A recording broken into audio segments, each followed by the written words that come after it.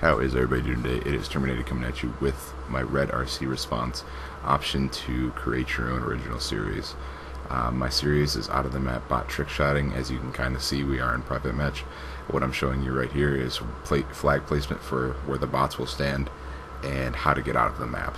The only thing required for this is the capture the flag game mode that has um, the multiple teams on it. Um, there is no JTAG involved. There is no explosive bullets or anything like that. All these shots are hit without those. Um, I will be showing you two different instances on two different maps, Frost and Studio, uh, how to get out of the maps and shots on them. Um, and the rest of the video is just um, more uh, shots that I've hit on different maps out of the map with this um, with this game mode and uh, the series essentially. So I hope you consider me for red, and everybody else have a good day.